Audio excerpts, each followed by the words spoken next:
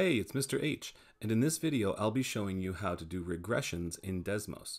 We're going to look at a lot of different types of regressions, but before you begin, if you need a starter video, a tutorial on some basics of what you can do in Desmos, then click on the link up here in the corner to help you with that. Now, first of all, before you do a regression, you're going to need a table of values.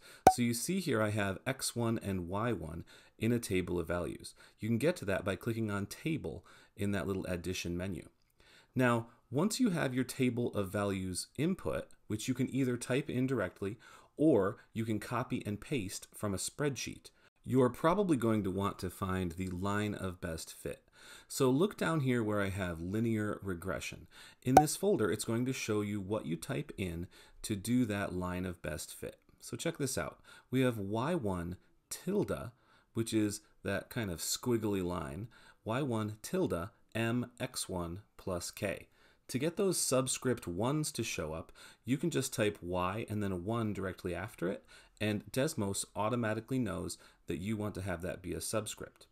y1 tilde mx1 plus k. Notice that that m value and k value are shown down below. It tells me what those parameters should be for this to be the line of best fit. Now, when I take out that 1 on the x, and this is a very common thing, it says subscripts are not allowed to be empty. Notice we're not doing a regression just between y and x.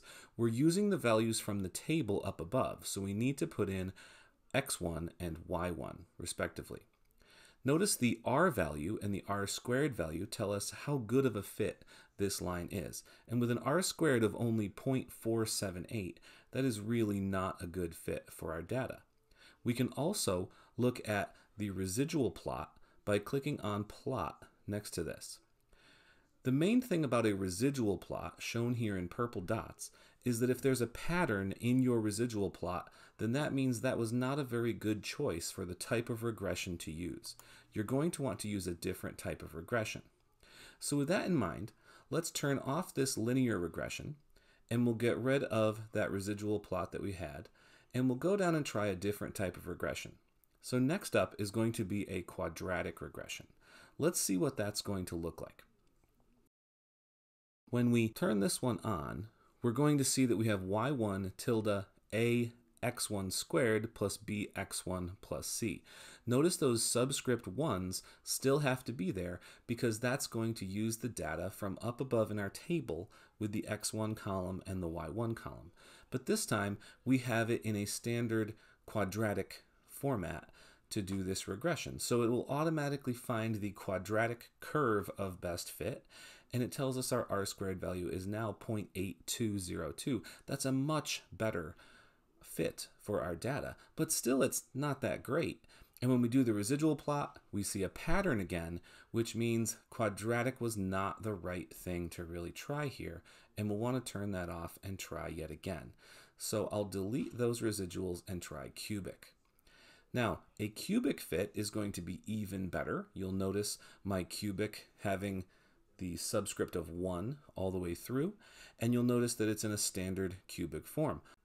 Also, you can see that I did not use the letters A, B, C, and D again because those letters are already being used. I had to use new letters for these parameters. Also, you should not use the letter E, lowercase e, as a parameter because that is Euler's number or Euler's number, 2.718. So that would be a bad choice. It would automatically think you were trying to use that number if you use lowercase e. Notice our r squared value is now 0.9585. We're starting to get to a better fit, but still not perfect. And if we look at the residual plot for this graph, then we're going to see again that we have a pattern. So I'm actually going to just move on and go right to exponential because at this point, I think everyone's realizing this is really going to be fit well with an exponential type of a graph. So I type in an exponential format using y1 tilde mn to the x1 power, and I could have used any letters that I want there. I could have used a times b to the x1, but a and b were already used up as parameters earlier, so that's why I didn't use those. Now we have an r squared value of exactly 1, meaning we have a perfect fit to our data. And so if we look down here at the end value, it's 2.71828, which I mentioned is Euler's number E.